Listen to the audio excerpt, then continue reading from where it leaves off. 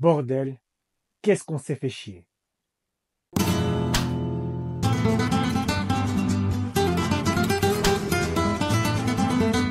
Bonjour à tous et à tous, c'est Super et bienvenue sur ma chaîne.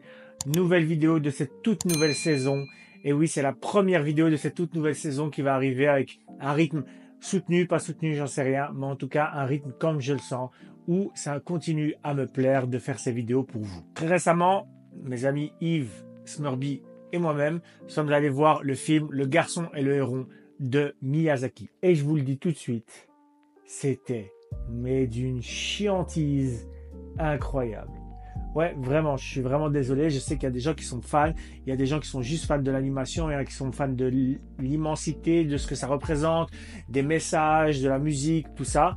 Mais nous, on s'est vraiment fait chier. Alors, pour commencer, il faut savoir que j'ai pas vu tous les films de Miyazaki, tout simplement parce que Lorsqu'une œuvre me plaît, ça ne veut pas dire que je vais aimer toutes les autres œuvres ou alors qu'elles m'intéressent toutes. J'ai vraiment regardé énormément de films dans ma life, on est presque aux 3000 maintenant, et je vais pas tout regarder non plus. J'ai énormément aimé Le Voyage de Chihiro et j'ai énormément aimé Le Château Ambulant. Et ici, je me suis dit, bon bah pourquoi pas aller voir ce film au cinéma? J'ai vu aucune bande-annonce et surtout c'était mon premier Miyazaki au cinéma on s'est dit, allons-y, c'était soit ça, soit aller voir le dernier Scorsese qui faisait 3h24. Je me suis dit, franchement, je pense qu'avec le garçon et le héron, ça va pas être trop long. J'étais pas forcément dans le mood pour regarder un truc d'aussi long que ça. Et malheureusement, j'ai eu tort. Puisqu'on s'est vraiment ennuyé on s'est tellement ennuyé que c'est la première fois de ma life, de ma vie entière, que je vais sur mon téléphone avec luminosité la plus basse. J'étais à une place dans le cinéma qui dérangeait personne et de temps en temps j'étais obligé d'aller sur mon téléphone comme quand je regarde un film chez moi à la maison et que j'arrive pas à me décrocher de mon téléphone. Malheureusement, le film était bien trop lent, il se passait pas grand chose et puis l'univers qu'on m'a vendu, bah, au final, il n'est pas intéressant. Je pensais vraiment ramasser ma petite gifle et faut dire qu'au début, je commençais à la ramasser avec de l'animation vraiment dingue.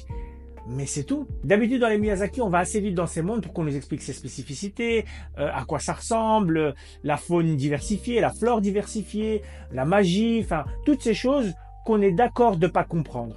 Ici, c'était pas le cas. Ça a mis trop de temps, c'était vraiment lent, et une fois arrivé là-bas, ben, nous, on n'en avait plus rien à foutre. On s'attache pas au personnage, et d'après moi, ce personnage d'ailleurs, bah, en fait, il réagit à rien. Tout ce qui se passe pour lui est extrêmement normal.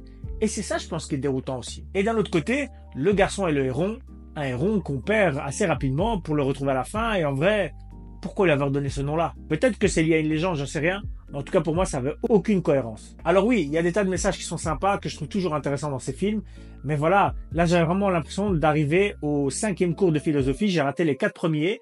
Et en fait, je comprends certains messages. Mais en vrai de vrai, à la fin, euh, bah, j'ai rien compris. Ça veut pas dire qu'on doit tout comprendre dans un film hein, pour que ça fonctionne. Mais là, spécifiquement, il fallait au moins que bah, tu m'embarques dans ton système. Tu m'embarques pas du tout. Tout ce que tu fais, c'est de temps en temps me faire esquisser un sourire parce que j'ai aimé telle ou telle scène que j'ai trouvé un peu drôle. Mais j'ai pas rigolé vraiment parce qu'elle était drôle. J'ai rigolé parce que, fait, pendant un instant, j'ai eu droit à un sentiment.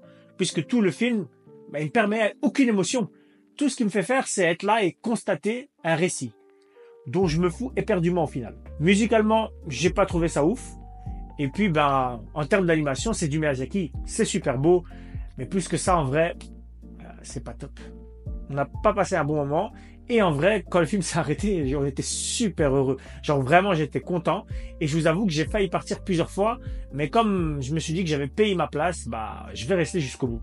Voilà, c'est le Younes Crevard qui a parlé plus qu'autre chose parce que sinon je serais parti depuis longtemps. Est-ce que je vous conseille d'aller le voir? Bah, En vrai, si vous aimez Miyazaki, allez-y. Si vous êtes un fan invétéré de Miyazaki, peu importe ce qu'il fait, allez-y. Parce que je sais très bien que de toute façon, qu'il vous fasse un film d'animation ou qu'il chie sur place, pour vous ce sera toujours incroyable, c'est du Miyazaki. Moi perso, ce film, je lui mets un 2 sur 10. Je sais c'est difficile, et en vrai les notes ça veut rien dire je mets une note comme ça juste pour vous dire ce que j'ai ressenti comme note à ce moment-là. Ça peut changer demain, peut-être que je vais le voir chez moi et en fait c'est un film qu'on doit regarder chez soi, peut-être que je vais le regarder sur mon téléphone, ou peut-être je vais pas le regarder, c'est peut-être un film juste à entendre. Ou à écouter les autres en parler peut-être.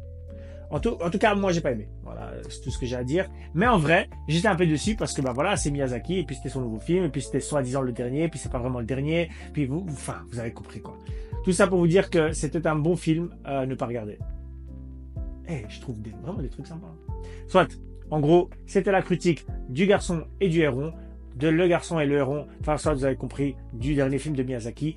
ça ne nécessite pas de payer pour voir ce film-là. Attendez qu'il sorte en DVD, en Blu-ray, regardez-le et puis vous ferez votre propre idée. Si vous avez aimé, n'hésitez pas à le dire en commentaire. Si vous n'avez pas aimé, mettez-le aussi en commentaire. Moi, je suis ouvert à tous les avis. Tout ce que je sais, c'est que j'ai ma sensibilité, vous avez la vôtre, et que pour moi, bah, on n'y était pas.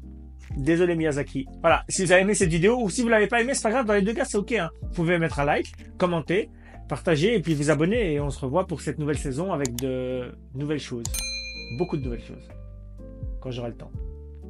Ah, au fait, mon livre sur Naruto, il est sorti. N'hésitez pas à aller l'acheter, d'accord? Je vous mets euh, la photo ici, voilà, comme ça vous l'avez. Et disponible partout, Fnac, Amazon, les librairies du coin, euh, tout le monde peut l'avoir. Et le 25 novembre, il y a la dédicace chez Comics Hendrix. Donc euh, venez, pour les informations complémentaires, venez sur mon Instagram, Super 6 Allez, tchuss